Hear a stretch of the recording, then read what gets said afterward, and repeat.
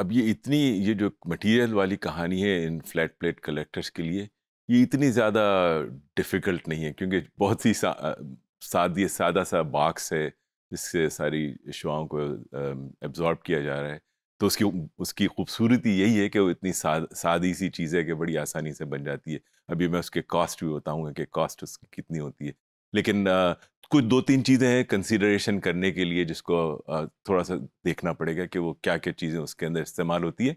तो उसके हिसाब थोड़ी सी उसमें उन चीज़ों की प्रॉपर्टीज़ भी समझ लेंगे स्पेसिफिक हीट वगैरह जिस किस्म की चीज़ें होती है ना तो वो वो बहुत काम आएँगी इसमें, इस सेक्शन में भी और आगे जाके भी जितनी भी चीज़ें जहाँ पे हीट एब्जॉर्प्शन की ज़रूरत होती है, उसमें भी विंड एनर्जी के अंदर वो वो भी काम आ जाएँगी।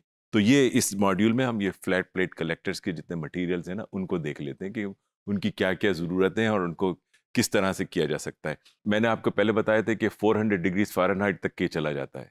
अब उसको आप कन्वर्ट कर लें खुद ही सेंटीग्रेड के अंदर। तो 400 डिग्री फ़ारेनहाइट में पानी काफ़ी गर्म हो जाता है। तो जितनी भी चीज़ें हैं ना उस बॉक्स के अंदर, कोई ऐसी चीज़ ना हो कि जो कंपेटेबल नहीं हो इस टेम्परेचर के, वरना वो मेल्ट हो जाएगी कोई प्लास्टिक लगा दिया वो तो बिल्कुल ही कैं हो जाएगा।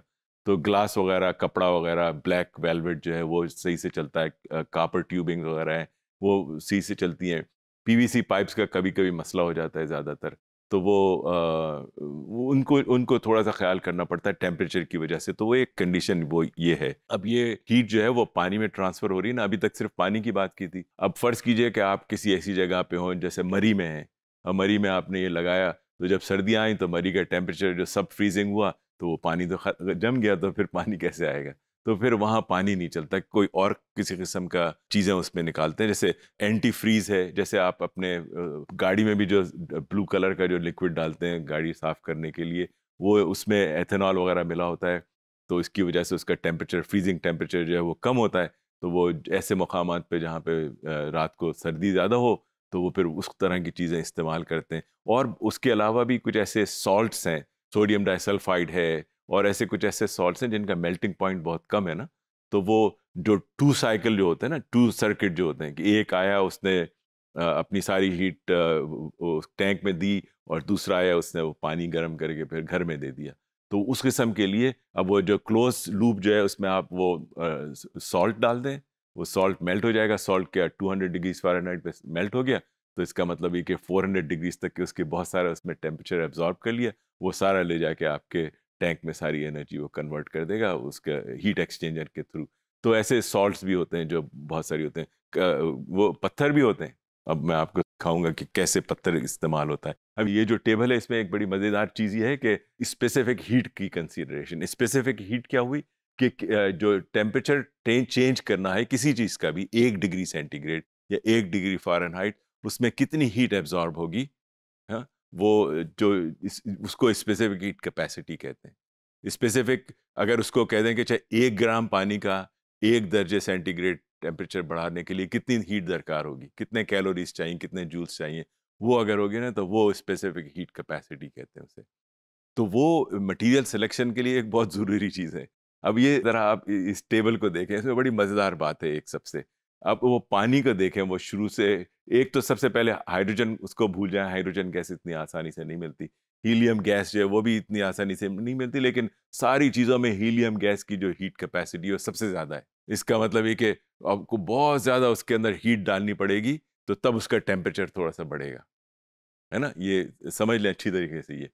अब उसके बाद अगर नीचे जाए ना तो तीसरी चीज़ जो आती है, वो पानी है।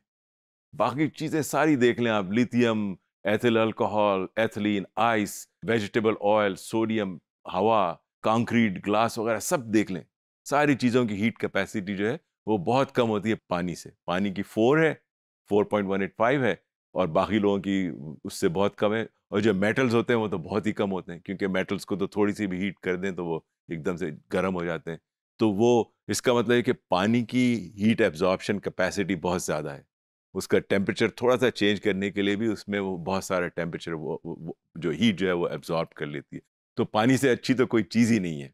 अगर पानी चल सकता है आप ऐसे मौसम में रहते हैं जहाँ पे चीज़ें जम जमती नहीं है रात को तो सिर्फ़ पानी का इस्तेमाल करें वो सबसे अच्छी चीज़ है। अगर नहीं हो सकता फिर वो फिर दूसरी चीज़ों को देखना पड़ेगा कि और दूसरी चीज़ें क्या होती हैं। ये आइडिया जो है ना स्पेसिफिक हीट का ये इसको अपने बहुत क्लियरली दिमाग में रखें क्योंकि हम इसका इस्तेमाल बहुत ज़्यादा करेंगे आगे जाके। ये स्पेसिफिक हीट कैपेसिटी जो है और इसको स्पेसिफिक इस वजह से कहते हैं कि वो फिर एक ख़ास मकदार के लिए, एक ग्राम पानी को गर्म एक डिग्री का टेम्परेचर बढ़ाने के लिए कितनी हीट चाहिए? वो फिर एक स्पेसिफिक हीट कैपेसिटी आ जाती है। तो उसको ज़रा अच्छी तरीके से समझ लें। अब ये देखें, एक कंपैरिजन है रॉक का, पानी का और सॉल्ट वगैरह का, ये कितनी सारी चीज़ें इसके अंदर रहती हैं। अब ये आ, इसकी डेंसिटी देखें इसकी स्पेसिफिक हीट कंपेयर करें जैसे पानी की जो है पहले मैंने आपको जूल्स पर ग्राम अब ये B T U per pound Fahrenheit तो ये इसमें भी देखें कि वो जो हीट कैपेसिटी पानी की है वो स्पेसिफिक हीट कैपेसिटी वो सबसे ज़्यादा है। पानी बाज़ मरतबा स्टोर करने का प्रॉब्लम हो जाता है आ, तो उसकी वजह से कुछ जगहों पे हर जगह नहीं कुछ जगह सबसे अच्छी चीज़ तो पानी है पानी से अच्छी कोई चीज़ नहीं है। लेकिन बाज़ जगह ऐसा होता है कि सिर्फ़ स्टोर जो टैंक है ना उसके अंदर बहुत सारे रॉक्स रख देते हैं। तो रॉक्स का भी ये है कि काफ़ी देर तक के वो अपनी हीट होल्ड कर सकते हैं। तो वो फिर काफ़ी एक मरता गर्म किया तो वो काफ़ी देर तक उसको गर्म रख सकता है वो। तो कुछ जगह पे वो रॉक भी इस्तेमाल करते हैं। सॉल्ट का तो मैंने आपको पहले ही बताया कि सॉल्ट मुख्तलिफ़ सॉल्ट ये सोडियम क्लोराइड की बात नहीं कर रहा हूँ। N A two S sodium sulphide वगैरह उस किस्म की सॉल्ट की बात कर रहा हूँ। तो ये देखें इसको थोड़ा छोटा सा एक कैलकुलेशन है इसकी इकानमी इवेलुएट करने का कि कितना आ, कितना उसके पैसे लगेंगे। और ये जो कैलकुलेट तो मैंने डॉलर में की है और मैं एग्जांपल देता हूँ यूनाइटेड स्टेट्स की ज़्यादातर क्योंकि मैं वहाँ से आया हूँ सारा मेरी एजुकेशन वहीं की है ना तो उसको मैंने ट्रांसलेट करने की कोशिश की है बहुत सारी पाकिस्तानी एग्जाम्पल्स के अंदर, लेकिन कुछ ऐसी एग्ज़ाम्पल हैं जो कि बड़ी आसानी से डॉलर में भी समझी जा सकती हैं। तो आप डॉलर का कन्वर्जन तो आप देख सकते हैं आसानी से कैसे होता है। तो ये जो है ना, जो आपकी अगर ज़रूरत है, चालीस से अस्सी गैलन एक दिन की ज़रूरत हो या उससे कम हो तो और भी कम हो जाएगा। ये जो है, कितने 2000 डॉलर का एक पूरा पूरा सिस्टम, जिसमें टैंक भी इंक्लूडेड है, जिसमें वाटर जो फ्लैट प्लेट कन्वर्टर है, वो भी इंक्लूडेड है पाइप वगैरह सब चीज़ें। और ये इसमें कोई ऐसी चीज़ है नहीं।